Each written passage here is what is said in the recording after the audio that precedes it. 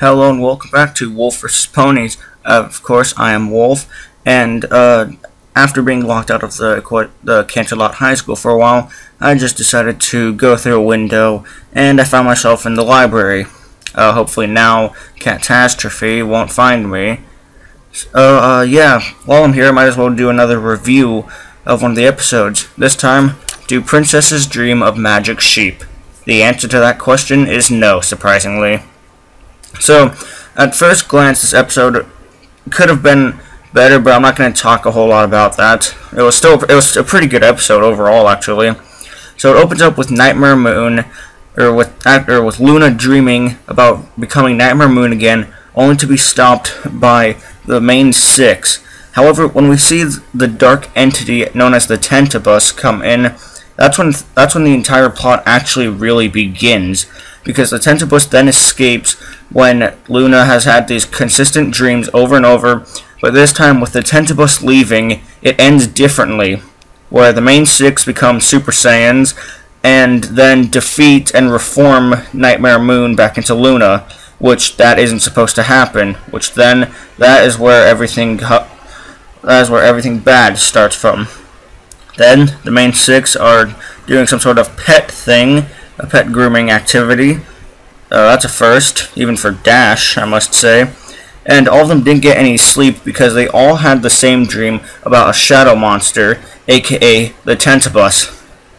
After it escaping, we uh, then learned about the Tentabus's background, how Luna created it because of what she did as Nightmare Moon. She used it as sort of, she used it as not really a cripple, but as a tool to keep herself guilty for what she did as Nightmare Moon. She wanted to make sure that she could never forgive herself, which is kind of weird why she would punish herself by creating this dark entity to constantly remind her of the evils that she wrought upon the ponies. Really shows what kind of princess she is. I mean, she really does care about the lives she affects. But aside from that, we then also get more information that if the Tentabus ever escapes into reality, it can create a living nightmare. Which every time I saw that episode, which was about three, three or four times, the first thing I thought the Tentabus was like was Darkrai. I mean, they both create nightmares, and they can both create a nightmare in reality. So that's what really made me think of it as Darkrai. So then we have the Inception Inception scene where they all have to go to a bed and Luna can share can enter each of their dreams. I will admit though, Pinkie Pie falling asleep after her hyperactivity will still go down as one of my funniest moments, or will still go down as one of the funniest moments in the series, especially with Pinkie Pie. So the first dream we get is Tabitha St. Germain's other character, Rarity, where she dreams of dresses instead of other things.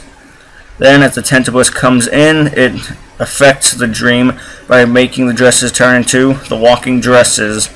That joke is actually made by Catastrophe. But Germain wanted to team up with herself in that episode, but the writer said no, with Luna denying that right of the two of them teaming up after the Tentabus.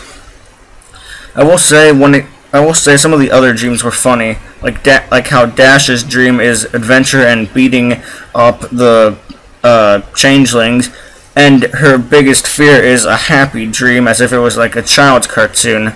I will say that is also another one of the funniest moments in the entire episode.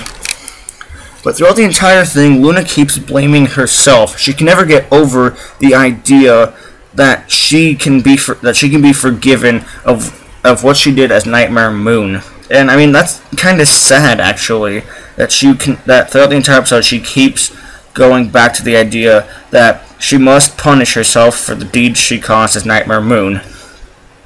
I'll, I, I'll keep referring to that mainly because it's prominent throughout the entire episode. Then, when we learn that Pinkie Pie is the one to screw up, big shocker there, everything else goes terribly because then Luna has to use a lot more magical ability to create a shared dream with everybody in Ponyville. We then go to the fight scene and the another funniest part was seeing Macintosh, Big Macintosh transform into a princess. Every time I see that, Big Mac will always remind me of a brony. Like every everything he has done up from lesson zero has sort of been a brony like. He collects dolls for little children or slash little girls, although Little Shy will defend himself saying that they're action figures. And everything else he's done, especially this. This is like the biggest scene where Big Macintosh actually represents a brony wanting to become a princess. I mean, there are quite a bit of people who like to become alicorn OCs, and I mean, this just takes it one step further. And then after, and the episode later ends with Luna finally accepting that she can reform, that she no longer needs to keep punishing herself for the deeds she caused, that the ponies of Ponyville have actually forgiven her for her deeds, especially since it's already been one full year. So the moral, so the moral of this lesson that I got was, you, if you make one mistake or one thing that you can't, that you personally can't forgive yourself, don't continuously blame yourself for it. And I mean, this episode actually relates to me quite a bit because during my tennis season, whenever I would make one mistake, I would actually have a lot of rage built up because of that, and at times I would actually break my racket off of the ground start cursing, even if it was during practice. That's not that's not only how seriously I took it, but that's how seriously angry I was at myself. And I kept blaming myself for all these little mistakes. I could never let that go. And I'd and I'd barely win some of the times. If it was in practice, I probably would have lost. But in a in a game scenario, I mean, I pulled out probably because of luck. Because I when after all that rage I should have let I should have just lost the match. But for some reason I didn't. I pushed myself harder. And yeah like Luna she kept blaming herself for that one incident. And she can never forgive herself until the end when the ponies told her that everyone else forgives her. I know my friends have have told me that. Even my coach they told me to start toning it down and to not become so serious. And I'm still trying to do that, but hopefully this episode can, can serve as a reminder of not only my anger, but hopefully I can remember this episode, and for my final tennis year, I can actually think of this episode as to calm me down, per se. But, all that aside, it was a pretty great episode, actually. I mean, if I had to rate this, like I did for Lullaby for Princess, I have to give it probably, uh, 7 out of 10. I mean, it was a really great episode. No matter, no matter what criticism there is, I will think that it's a good episode. So, this has been Wolf vs. Ponies, and I will see you all later.